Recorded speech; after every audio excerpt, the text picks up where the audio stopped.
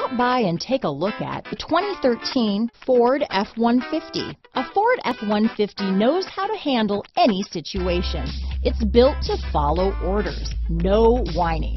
This vehicle has less than 90,000 miles.